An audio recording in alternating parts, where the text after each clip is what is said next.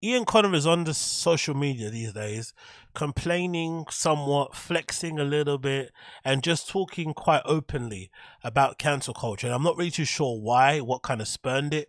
It might be because of that weird kind of back and forth that he's kind of going with um, people from OVO because he decided to kind of jump in and decide to kind of back up Ye because I think Drake released that record where it basically features a skit from Kim Kardashian talking about the moment she decided to divorce Kanye. He put it in a track. A lot of people are kind of reading into it that them they're not cool anymore, Ye and Drake. And I guess Ian Connor wanted to kind of get involved by basically saying, "Hey, I'm gonna side with Ye because that's my guy." Because you know he was working with him closely on that um, brand that never came out at the end of the day, which I think was what was it called again? I forgot it was something to do with insulting Tremaine, right? I forgot what the idea behind it was, but they made a line sheet of it with all these kind of like supreme kind of flips on stuff that he did, basically poking fun at Tremaine Emory.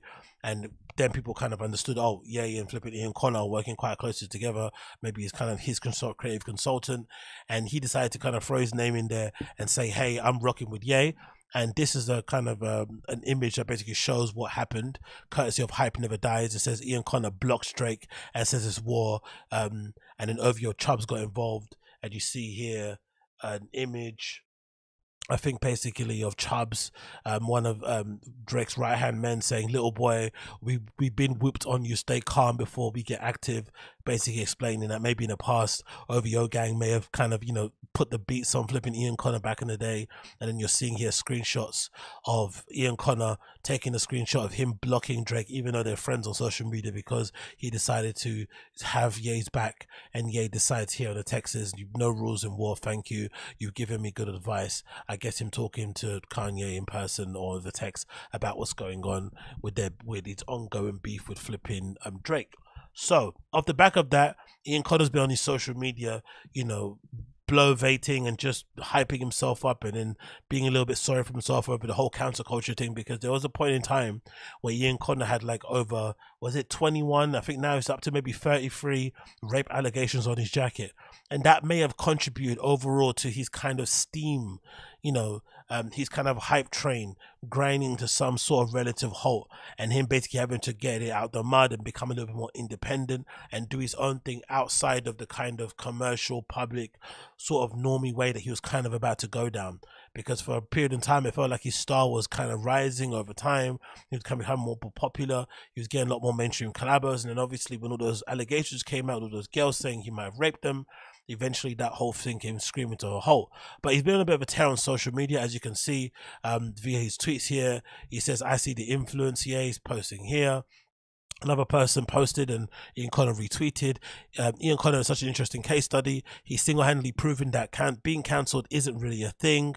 He then tweets, "I realized these rap niggas dress worse than than I've uh, ever nowadays." Another one he says, "I did advise some of y'all niggas to settle down and have a family. Life is deeper than Twitter." Um, another one he says here, "I understood." Da, da, da. He says, "Touch grass." People tell him to touch grass. He's posting a picture here, lying down next to money.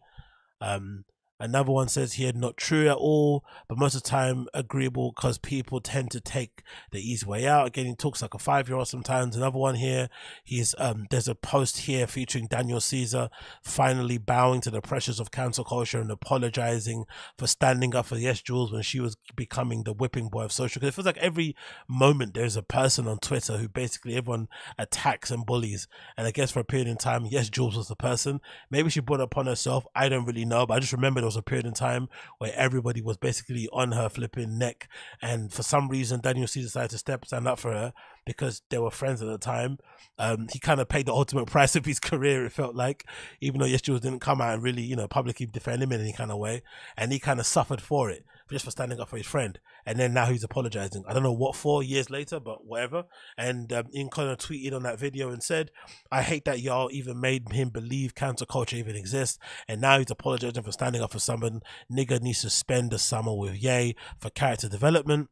He says here in a tweet, if counterculture was a real thing, then why am I still able to do exactly what I whatever I want, go where I want, and have been been most financially up and stable than ever I've been in my life? Did I allow that or y'all allowed that? which is an interesting question because I think what's happened, and I've always said this, right, is that I think counterculture by and large is kind of crap, but I also understand its necessity in culture in society nowadays actually overall especially when you look into the you know into the amount of um, cases that get brought to court that involve like sexual assault or rape and stuff the numbers are really frighteningly low. So a lot of these women or a lot of these people who are in these circumstances or in these situations where they may have been abused or assaulted maybe they don't have any way to seek justice in the courts. So the only way they can kind of get some type of retribution and feel that somehow justice has been done is by canceling and having the ability to maybe stop the money, stop the flow, stop the hype train, and just kind of, you know, disrupt and publicly shame a person who is quite widely known for whatever they may have done to them in the past.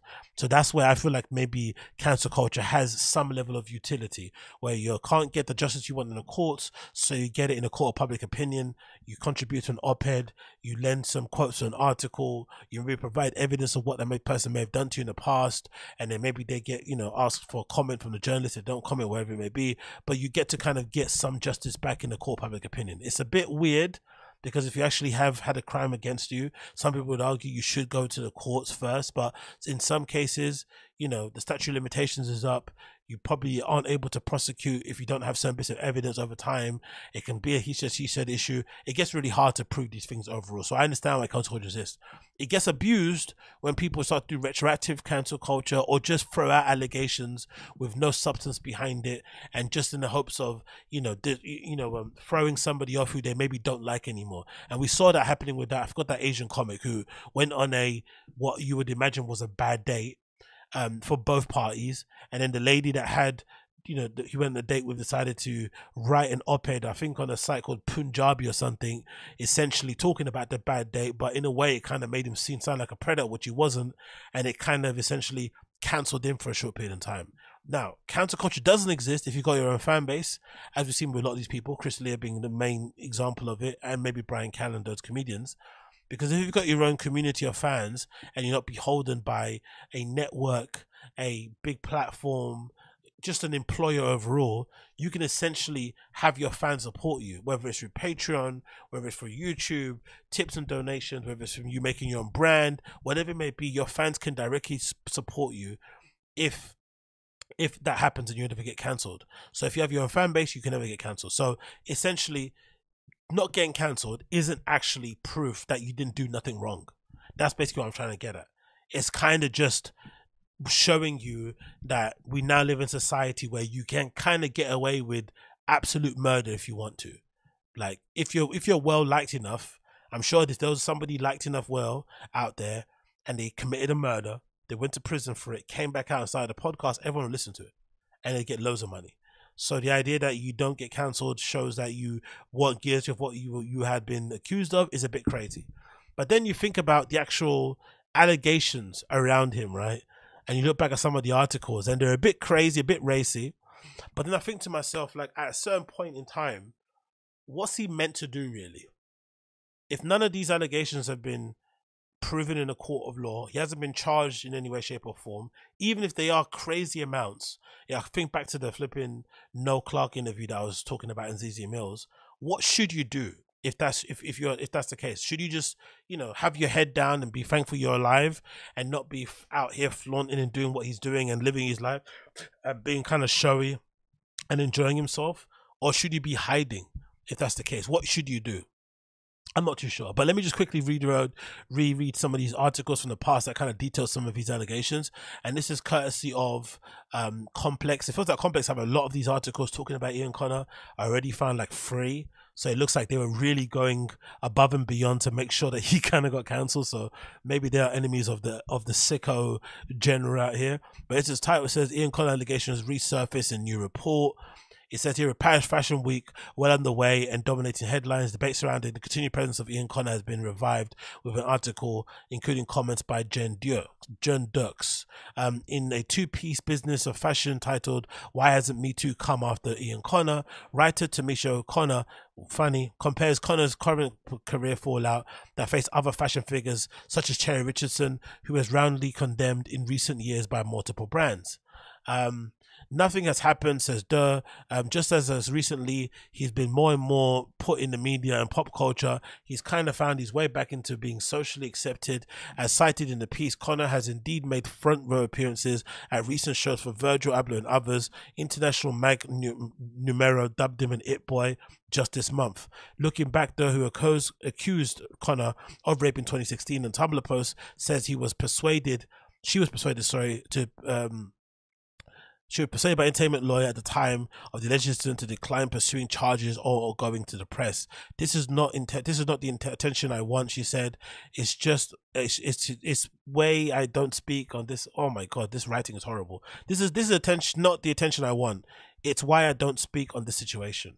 Connor has been accused by numerous women of sexual assault and misconduct, including Jenny Stampley, Taryn Williams, Malika Anderson, and Kadita Dalio, a woman going by the name of Alisa, who has chosen to remain anonymous, and multiple more women. Oh my god. In tweets and interviews, he has denied allegations. Collaborators and friends, including ASAP Rocky, Kanye, and Kanye West, and Abloh, did not contribute comments to the business of fashion story. Read the full piece here and obviously we got a comment here from Chris Black, a co-host of How Long Gone, one of my favorite podcasts out there, who said at the time, "I don't understand why these guys continue to stand with Ian Connor. Fuck him." So a lot of people in the industry don't like the guy, but clearly his fans don't give a fuck. And despite all the constant allegations around his name, he's still been able to strive and succeed and do what the fuck he wants. Now, going on these allegations and actually talking about them specifically, right? Let's go over some of these because I forgot some. I want to kind of give a bit of a refresh. This is courtesy of, of Complex. The article title is Ian Connor faces rape accusations from two more women. Two more, which is two more than anyone actually needs. It says two women came forward on Friday accused of celebrity stylist Ian Connor at the time um, uh, to a report in the Daily Mail. Jenny Stampley, a 19 year old from Chicago, told the Mail she was attacked by Connor during a visit in Toronto in April. In the same story, Taryn Williams, a 23 year old from Redfields, Redlands, California, claimed that she was raped by the stylist in 2014. So someone saying they got attacked, someone saying they got raped. Pretty racy, pretty scary, and pretty up there comments. Kadira, sorry, Kadiata Dalio Diallo, I guess Diallo, um, which the Daily Mail also spells as Kadita Diallo, um, came forward in her story on Wednesday, joining Malika Anderson and John Dio um, as who made their accusations in April. Dahlia's allegations prompted Connor to go to a long Twitter rant Wednesday evening, and another anonymous woman accused Connor of rape on Thursday, according to the Daily Mail.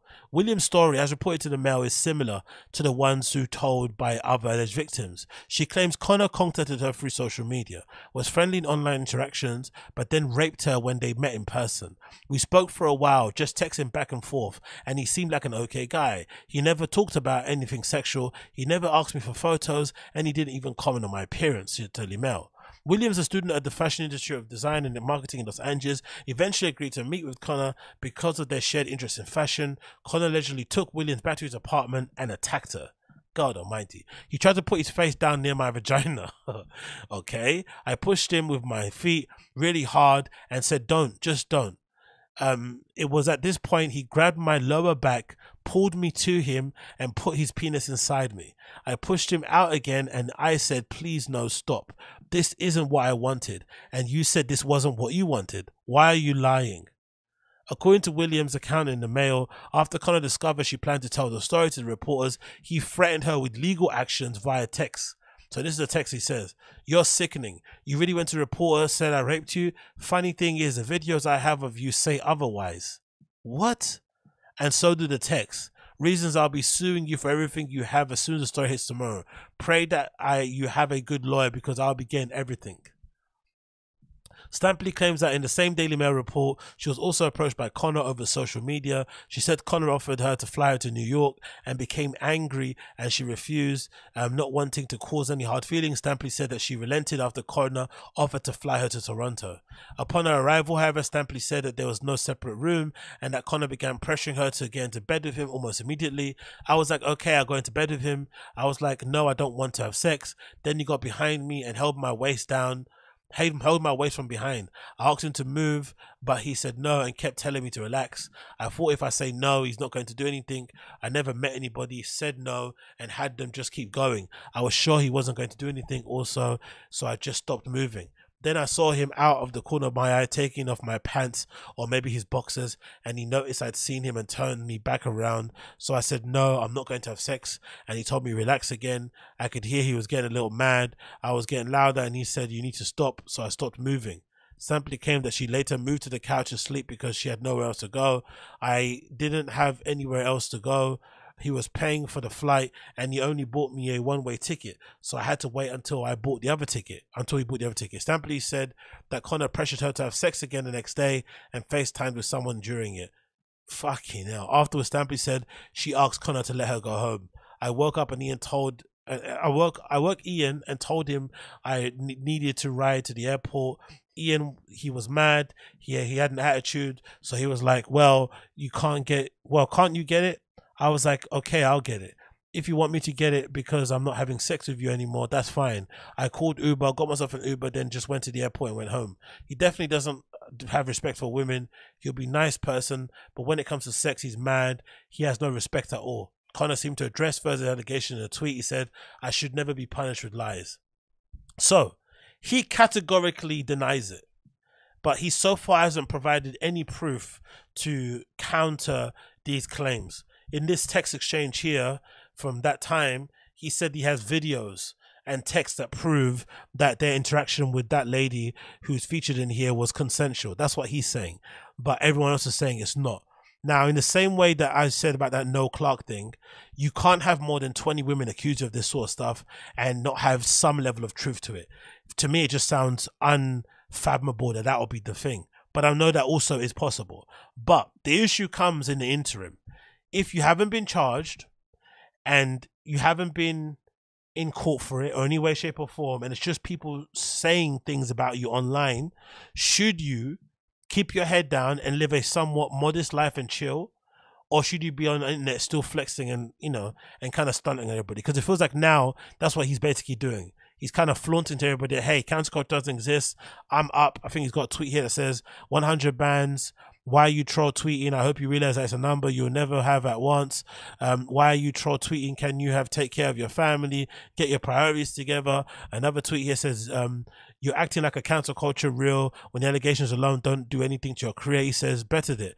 I made more money standing on my own two feet than ever being employed for years and years by someone who's paying me month per month the equivalent of days worth of shopping for me nowadays. Maybe I can't be on the scene as much as I once was, but I'm in it for the money. So he was in it for the scene for before, but now because he doesn't have any option, he's obviously in it for the money also. But like I'm saying, what should someone do if you've been accused of these things? You don't get charged in a court of law. Should you be, you know, should you be somewhat timid about it and chill, or should you be stunting on everybody like this? But I feel like with Ian Connor, the issue that I have with him is that he wants he wants it all. He wants to be able to ha- say counterculture does exist. I'm successful for it. He also wants to kind of do what he wants to a certain extent because this whole infatuation he has with Osama bin Laden kind of feels like that, right? Where he says, oh, he kind of stood for something. And even though he had bad, you know, he went about it the bad way, he got his message across type of thing. So he kind of likes being the heel. He kind of likes playing the bad guy. And if that's the case, I don't understand why he's complaining that some people don't like how he's perceived online. Or I don't see why he's complaining that some people who don't maybe care about him too much or the allegations just believe the allegations.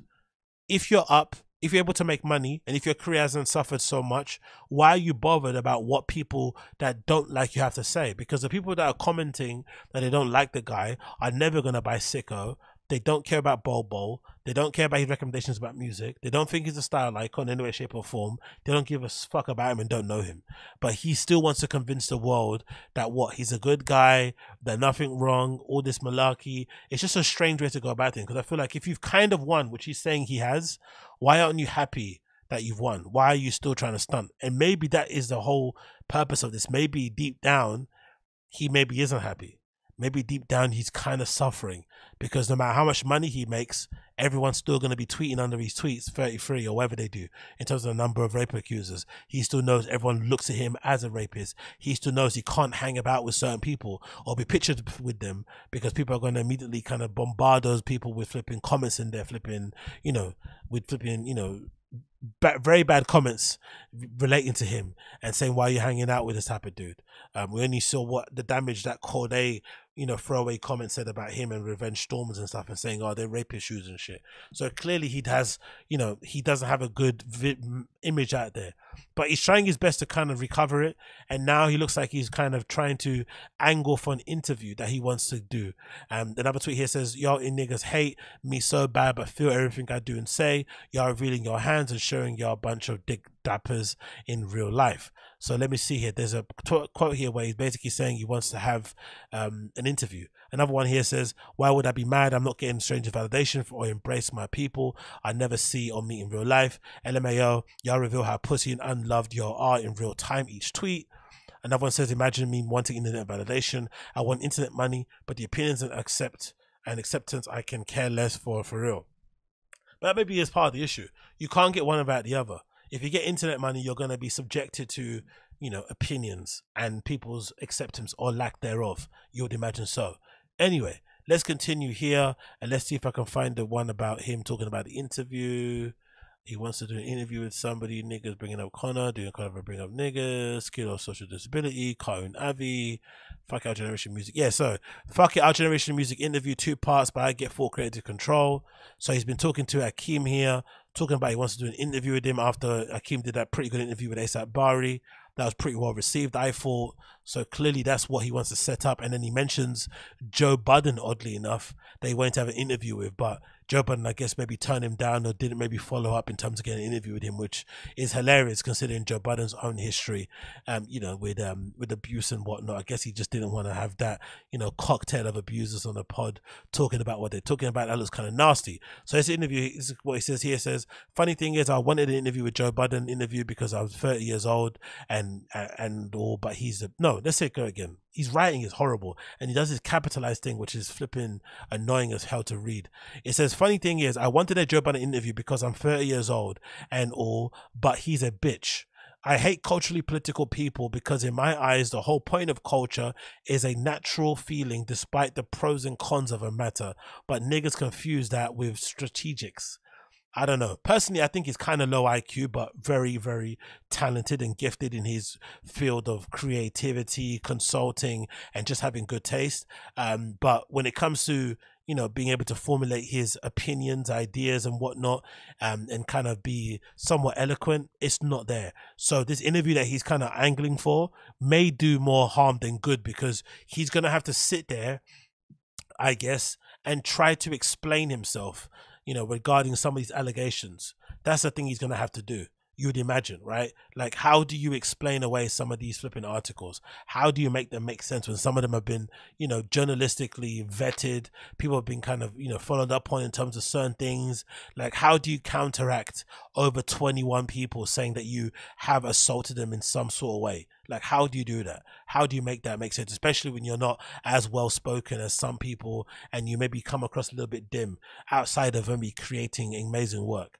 I don't know how it's going to happen. I don't know how he's going to do it. He wants to do it. I think it's going to be, I think personally it's a bad idea. It'll probably do more harm than bad for him, unless in the period of time we haven't heard him speak, he's been doing reading, he's been getting smarter, he's been getting wiser, he's been formulating his opinion and what he's going to say way more away from the cameras, outside of the glare of the public. I don't know, but it'll be interesting to see how he approaches it. And if it goes tits up, like I'm assuming it will go tits up.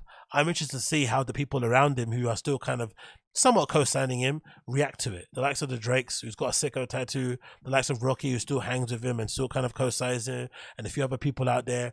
Like, how do you react to that after the fact? Because I know the only person I've seen so far who's publicly disavowed him was maybe like Denim Tears, right? The Tremaine Emory guy. Apart from that, I don't see anybody else in the scene who's really gone out their way to kind of say this guy's, you know, fuck this guy and shit because I guess he's still somewhat scene adjacent, somewhat still has a little bit of clout on his name, and people don't want to kind of tarnish that relationship.